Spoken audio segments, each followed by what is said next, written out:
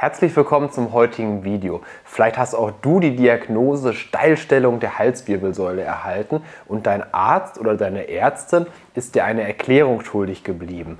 Kein Problem, das übernehme ich gerne für dich. Viel Spaß beim Video. Um die Diagnose verstehen zu können, lohnt sich ein kurzer Blick auf die Anatomie der Wirbelsäule.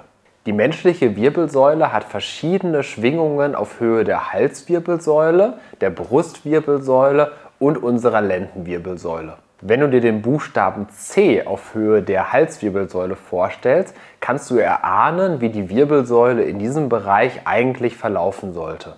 Bei der Steilstellung der Halswirbelsäule kommt es zur Aufhebung dieses C-förmigen Verlaufs. Das C ist nicht mehr zu finden und im wahrsten Sinne des Wortes ist die Halswirbelsäule steilgestellt.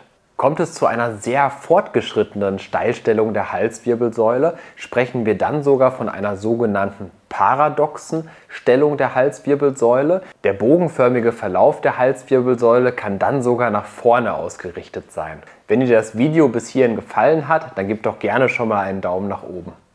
Was sind die möglichen Gründe für eine Steilstellung? Tja, da gibt es verschiedene Gründe, unter anderem zum Beispiel genetische Faktoren, aber auch Schleudertraumata in der Vergangenheit, zum Beispiel im Rahmen eines Verkehrsunfalls oder eines Fahrradsturzes, aber auch vermeintlich kleinere Stürze können einen schwerwiegenden Einfluss auf eben solche Probleme haben, da es zu Fehlverschaltungen auf Muskelebene kommen kann. Falls du mehr dazu erfahren möchtest, verlinke ich dir hier nochmal ein Video, in dem ich bereits ausführlicher über genau diese Thematik aufgeklärt habe. Dass auch der Lebensstil bei diesen Problemen mitmischt, kann man sich gut vorstellen. Schließlich hat sich bei uns sehr, sehr viel in Richtung Smartphone entwickelt. Das heißt, wir sind ständig in einer nach vorn gebeugten Haltung, sei es, wenn wir aufs Handy gucken oder abends auf dem Sofa sitzen. Vieles ist nach vorne, vieles ist nach unten gerichtet und die meisten Menschen kommen gar nicht mehr ausreichend in die aufrechte Körperposition. Tja, und das alles führt im Rahmen der Halswirbelsäule eben dazu, dass wir gar nicht mehr ausreichend in die Streckung der Halswirbelsäule kommen und das wiederum kann einen Einfluss auf die Steilstellung der Halswirbelsäule haben. Ja, und in diesem Kontext kommt es mir teilweise vor, als wenn die Streckung der Halswirbelsäule total verteufelt wird. Ich habe das Gefühl, dass vermeintliche Experten teilweise dazu raten, bloß nicht in die Streckung zu gehen, weil sie so viele negative Probleme entstehen lassen kann. Und wenn wir es ganz nüchtern betrachten, dann muss man einfach sagen, okay, die Natur hat uns die Streckung der Halswirbelsäule ermöglicht. Wir führen mittlerweile einen Alltag, der diese Streckung gar nicht mehr genug füttert. Und allein deswegen ist es ganz wichtig, regelmäßig gezielt und geführt in diese Streckung zu gehen. Natürlich unter Berücksichtigung deiner Probleme und Symptome. Aber wer das mit Menschen, mit gesundem Menschenverstand eben macht und durchführt, der tut in der Regel seiner Wirbelsäule definitiv eher was Gutes und nichts Schlechtes damit rund um das Thema Folgen und Symptome einer Steilstellung ja, passiert meiner Erfahrung nach eine ganz, ganz große Misskommunikation und Ängste und Sorgen werden geschürt, die da eigentlich gar nicht hingehören. Immer wieder habe ich in den vergangenen Jahren Menschen erlebt, die diese Diagnose wie eine Hiobsbotschaft erzählt bekommen haben, denen das Herz in die Hose gerutscht ist und man plötzlich sich total unsicher war, wird das nun ein ständig schmerzender Wegbegleiter bis ans Ende meines Lebens sein. Und an dieser Stelle kann ich dich beruhigen und dir Mut machen und dir sagen, dass das Essen häufig heißer gekocht als gegessen wird. Denn erstens stellt die Steilstellung der Halswirbelsäule einen häufigen Zufallsbefund dar, der erstmal in keinster Weise zwingend mit den Problemen, die du hast, in Verbindung stehen muss.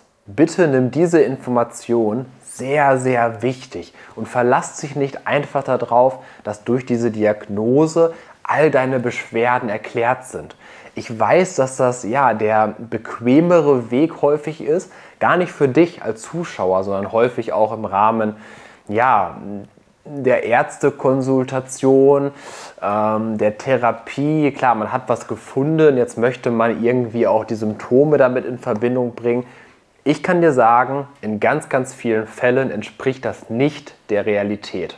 Zweitens ist unser Körper dazu in der Lage, auch unter nicht optimalen Verhältnissen eine Situation zu schaffen, in der nicht zwingend Symptome und Beschwerden auftreten müssen. Das heißt für dich eine ganz, ganz wichtige Information, auch wenn du die Steilstellung diagnostiziert bekommen hast, ist ein symptomfreies oder armes Leben in der Regel definitiv möglich. Und drittens, auch ganz, ganz wichtig, es gibt tausende Beispiele von Menschen, die diese Diagnose bekommen haben und trotzdem ein komplett symptomfreies Leben führen.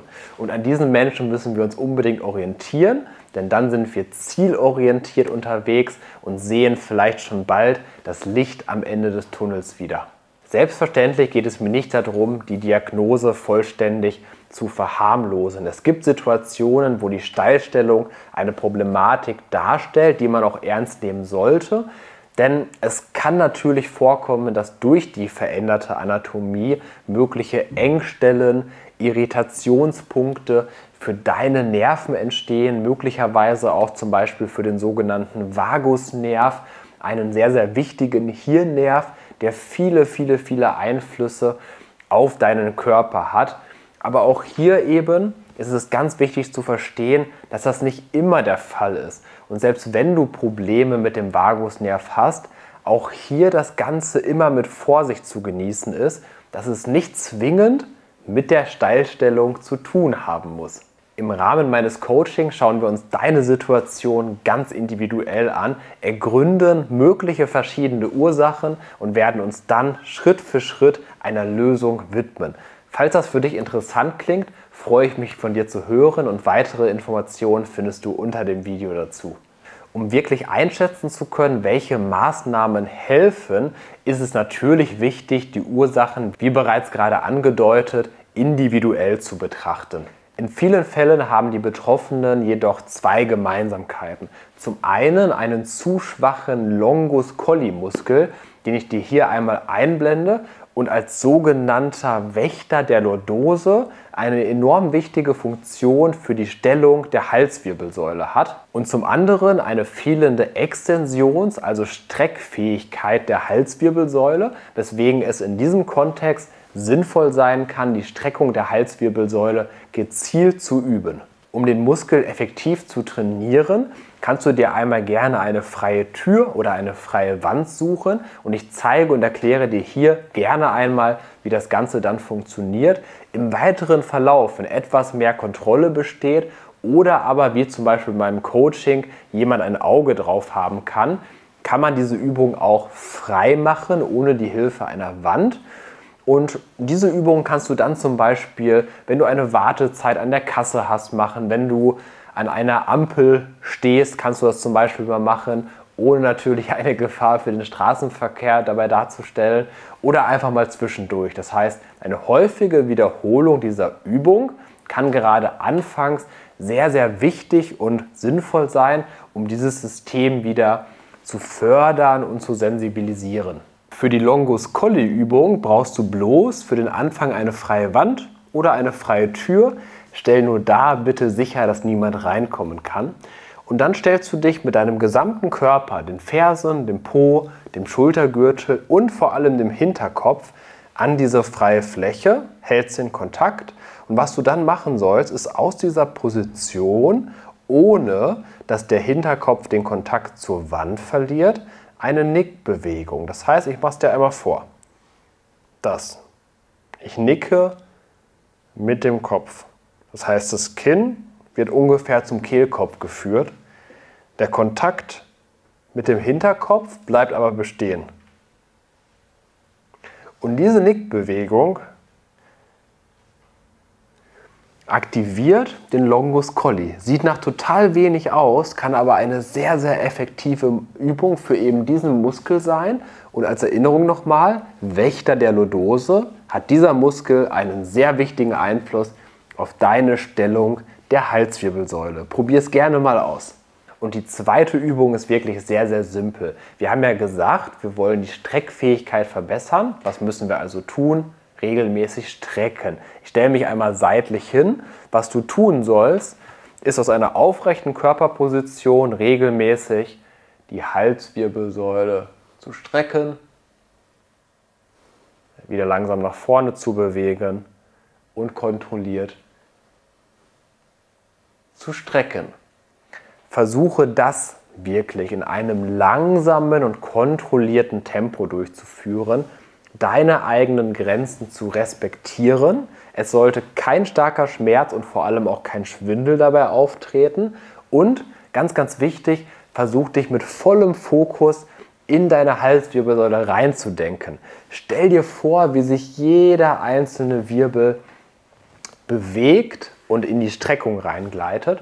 Und dann kannst du diese Übung, falls du sie gut verträgst, auch immer mal wieder zwischendurch machen. Gerne häufig und kurz, die regelmäßig mal Zeit nehmen und dann stellen diese beiden Übungen eine super Basis dar. Verstehe es aber auch wirklich bitte erstmal als Basis. Wichtig ist natürlich dann, spätestens wenn dieses Fundament gestellt ist, individuell nach den Ursachen zu gucken und dabei helfe ich dir, wie gesagt, gerne, falls du Interesse daran hast, schreib mir dafür gerne eine Nachricht und gib diesem Video, falls es dir weiterhelfen konnte, doch gerne einen Daumen nach oben und schreib mir deine Erfahrung gerne auch in die Kommentare. Und hier verlinke ich dir auch noch mal ein, zwei Videos zum Beüben weiterer Übungssequenzen. Schau da auch gerne mal vorbei. Jetzt ist auch genug geredet. Wir sehen uns gesund und munter bei einem der nächsten Videos wieder. Bis dahin.